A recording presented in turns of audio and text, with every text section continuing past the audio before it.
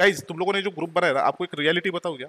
जब ऑनेस्टली बोल रहा हूँ, जब जब सच में रियलिटी में चीज़ें चालू हो जाएगी ना एक्टिव तो तुम लोग कहीं के नहीं रहोगे। मैं आज एक चीज़ बोल रहा हूँ कि मेरे को ये लेवल पे नहीं गिरना है।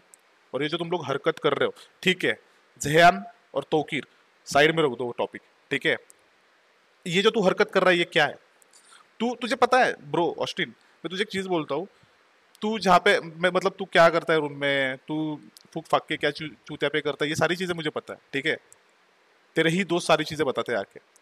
तो मैं तुझे एक ही चीज़ बोलता हूँ कि मत कर ये सारी चीज़ें। नहीं, ये कंप्यूटर कीड़ा बनने से अच्छा ठीक है, कर कंप्यूटर पे भी चीज़ें कर, लेकिन बाहर की दुनिया में निकल थोड़ा सा यार। थोड़ा सा बाहर की दुनिया देख, थोड़ा लोगों के साथ इंटरेक्ट कर। दुनिया पता चलेगी तुझे रियल रियल लाइफ कैसी होती है। तू अलग दुनिया में चला गया, अलग बीटी में चला गया तू, ठीक है?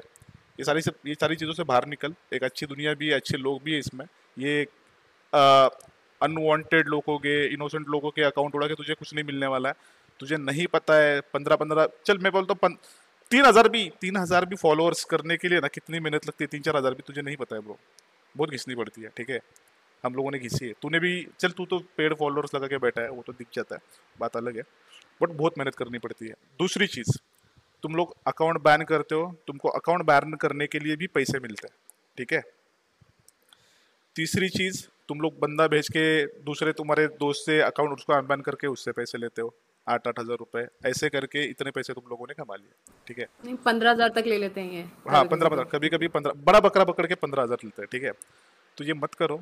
क्या होता है तुम लोगों को अगर पता मैं बोलता हूँ तुम्हारे आईपी एड्रेस से तुम्हारी सारी डिटेल्स निकल सकती है। तुमको लगता है कि तुम लोग ये हरकतें कर रहे हो तुम लोग तुमको लगता है तुम लोग इंस्टा प्राइवेट करोगे इंस्टा अकाउंट उड़ा दोगे ये जो साइबर में, साइबर जो रहता है ना मतलब ये पुलिस का जो डिपार्टमेंट रहता है, उसमें वर्ल्ड के टॉप मतलब इंडिया के टॉप हैकर्स रहते हैं, तुमसे भी बड़े बड़े जो एक्चुअल कोडिंग जानते हैं। तो ये क्या है ना, तुमको लगता रहेगा ये ईजी है तो ये ईजी बिल्कुल नहीं है। ये बहुत सीरियस चीज़ है, ठीक है? मैं बाकी किसी बंदों का नाम नहीं लूँगा।